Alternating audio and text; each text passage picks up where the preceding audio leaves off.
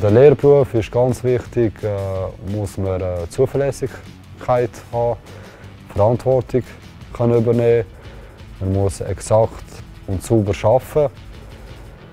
Äh, logisches Denken ist auch ganz wichtig äh, und die Umgangsform, auch mit den Kunden, muss auch gut sein.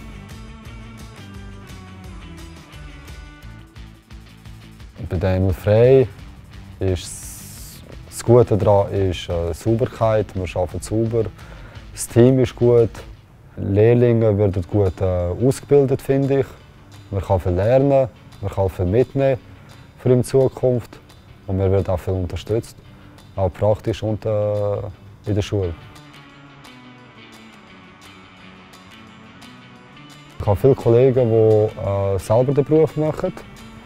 Aber äh, die Kollegen, die den Beruf nicht machen, die denken halt ein bisschen Service machen, Öl wechseln, Rädchen wechseln, obwohl es eigentlich gar nicht so ist. Und mit den schönen Autos können, äh, arbeiten